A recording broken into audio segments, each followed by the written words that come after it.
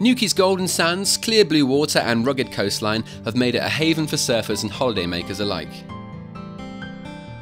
The town has eight beaches, and there are four more just a short drive away. In recent years, the town has gained a reputation as a foodie destination with a wealth of restaurants, like the Lewinnick Lodge, perched high on the cliffs above Fistral Beach. Jamie Oliver opened his famous restaurant 15 at the nearby Watergate Bay.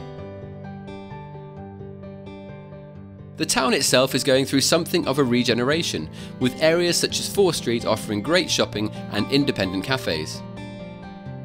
As for surf shops, there's no end of choice. Sheltered areas such as the Gannel Estuary offer an ideal playground for kayaking and stand-up paddleboarding. And in the summer months there's a ferry service that takes passengers across the estuary to Crantock Beach. Well, we hope you enjoyed our whistle stop tour. You can find more local area information and plenty of properties to browse at www.bradleys-estate-agents.co.uk.